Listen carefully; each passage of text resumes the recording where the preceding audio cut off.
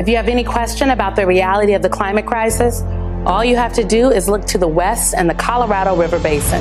The federal government has declared a shortage on the Colorado River, which provides water to nearly 40 million people. The federal government just declared a tier one shortage on the lower Colorado River.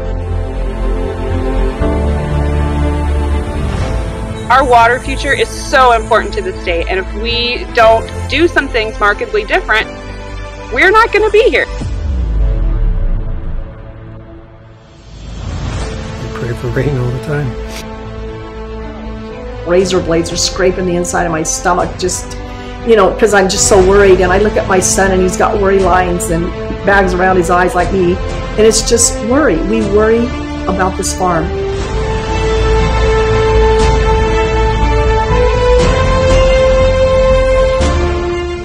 Farmers, this is a more complicated question. This isn't just about preserving their livelihoods. It's about preserving a way of life. From that green tree behind you, all the way over to, you can barely see it now, but there's a green tree that's over there.